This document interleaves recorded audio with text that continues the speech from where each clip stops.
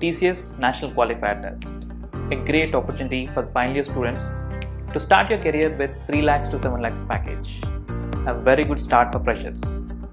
And to help you prepare for this test, PacketPrep is introducing Target TCS program.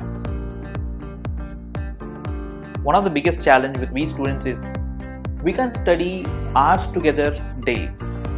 We prefer a one day batting just before the exam. And by any chance, even if you want to prepare, there is no proper resource which is simple and where the concepts are covered from the basics. So keeping these things in mind, PacketPrep has designed Target TCS program. This will be the smartest way to prepare as fast as possible.